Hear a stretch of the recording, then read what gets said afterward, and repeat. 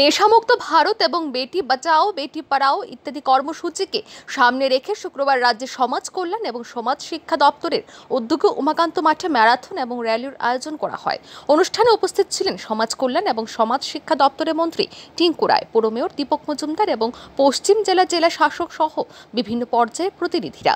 স্বাধীনতা সংগ্রামে এবং বর্তমানে দেশের বিকাশে নারীদের বিরাট ভূমিকার কথা নিজের বক্তব্যে উল্লেখ করেন দপ্তরের মন্ত্রী টিঙ্কু রায়। বর্তমানে বিজেপি সরকার বিভিন্ন কর্মসূচির মাধ্যমে কন্যা সন্তানদের সামগ্রিক বিকাশে বহুমুখী পদক্ষেপ নিচ্ছে বলে উল্লেখ করেন তিনি। সবাই মিলে বেটি বাঁচাও, বেটি পড়াও, এই যে মিশনটা, এই কর্মসূচি শুরু হয়েছিল দু হাজার পনেরো সালে বাইশে জানুয়ারি সূচনা করেছিলেন হরিয়ানাতে প্রধানমন্ত্রীজি। এটা একটা অ্যাওয়ারনেস ক্যাম্পেনিং অর্থাৎ আমরা সবাইকে জাগ্রত করতে চাই যে বেটি বাঁচাও, বেটি পড়াও, অর্থাৎ বেটিদেরকে ক্ষমতায়ন করা এবং তাদেরকে সুরক্ষিত রাখা। আমরা যদি দেখি আমাদের ভারতে, আমি খুব সংক্ষেপে বলব, এত রৌদ্র গরমের মধ্যে এর জন্য কেউ বক্তব্য রাখছেন না, আমিও সময় নেব না।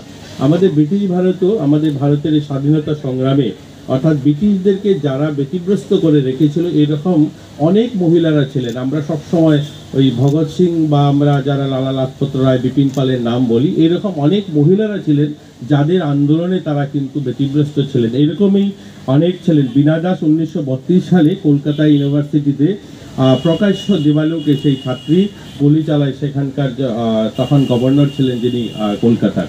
অর্থাৎ তখনকার সময় থেকে সরোজিনী নাইডি, ঝান্সি রানী, ক্যাপ্টেন লক্ষ্মী সাইগল ননিবালা দেবী এরকম অনেক মহিলারা ছিলেন, নারীরা ছিলেন তখনকার সময়ও, যারা এই ব্রিটিশকে আমাদের দেশ থেকে তাড়ানোর জন্য প্রথম সারিতে এসে এই লড়াইটা করেছিলেন। আজকের ভারতেও এরকম অনেক নারী রয়েছেন যারা মহিলারা রয়েছেন। আজকে আমাদের দেশের স্বাধীনতা সার্বভৌমত্ব রক্ষার জন্য যেমন ডিফেন্সে কাজ করছে তেমনি বিভিন্ন স্পোর্টস বিজনেস এরকম অনেক জায়গাতে আহ, ইন্দ্র নৈনী রাধিকা আগরওয়াল যারা ব্যবসার জগতেও নিজেদেরকে পৃথিবীর অন্যতম জায়গায় উল্লেখ্য প্রধানমন্ত্রী নরেন্দ্র মোদীর নেতৃত্বে সারা দেশে কন্যা সন্তান এবং নারীদের উন্নতির জন্য বিভিন্ন প্রকল্প রূপায়িত হচ্ছে। Bureau Report, RE News.